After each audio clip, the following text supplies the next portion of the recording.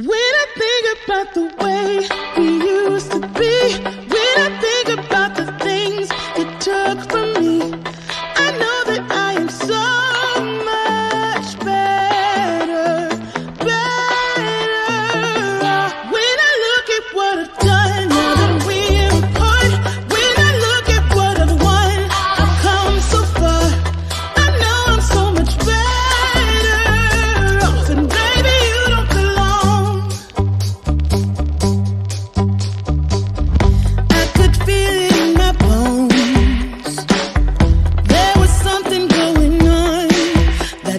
shade of doubt. Hey.